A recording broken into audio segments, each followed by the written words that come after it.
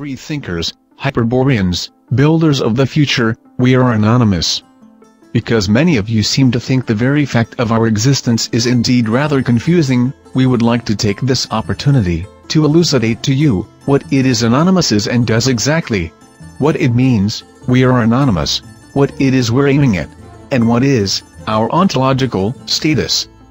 Now first and foremost, it is important to realize that anonymous, in fact, does not exist. It is just an idea, an internet meme, that can be appropriated by anyone, anytime, to rally for a common cause that's in the benefit of humankind.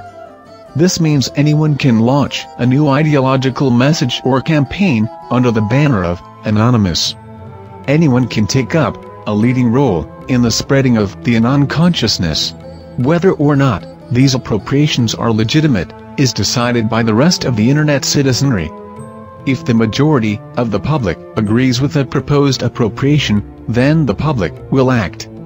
If the majority of the public disagrees with a proposed appropriation, then the public will protest and label the message in question as illegitimate and thus not representative of the values of Anonymous. This makes Anonymous the first truly democratic endeavor in the world. It is a beehive where the queen is missing, yet buzzing with activity, in every possible form, direction, shape, and color one could possibly imagine. This does not mean, however, that there can be bad actions presented as coming from Anonymous. Just as with bad speech though, we believe the solution to these issues is not less speech, but more speech not less or restrictive action, but more in constructive action. Anonymous believes, the only legitimate form of power, is that power which rests on widespread public consent.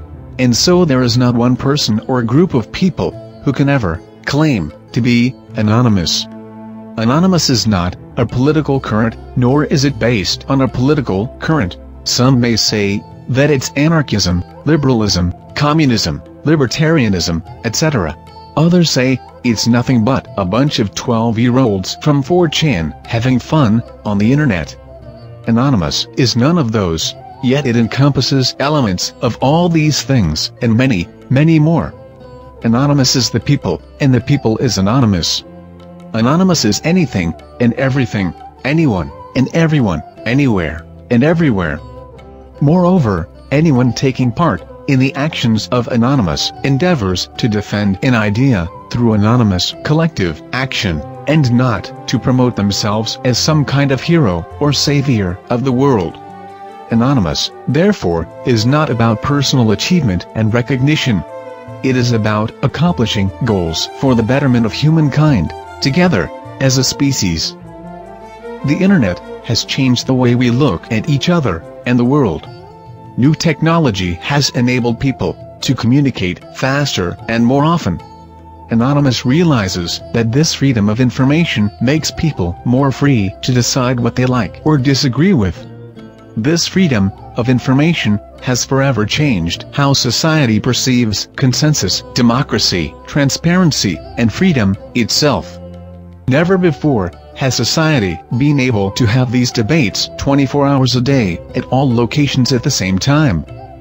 Anonymous applauds these developments, and will defend humanity against anyone willing to take this newfound freedom away.